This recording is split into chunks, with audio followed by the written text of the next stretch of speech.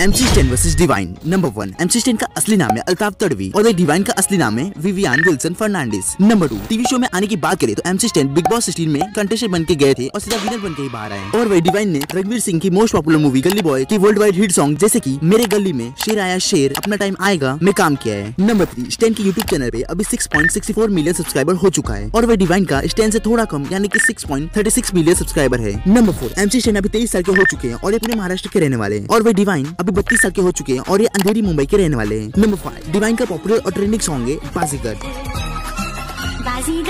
हम मैं बाजीगर।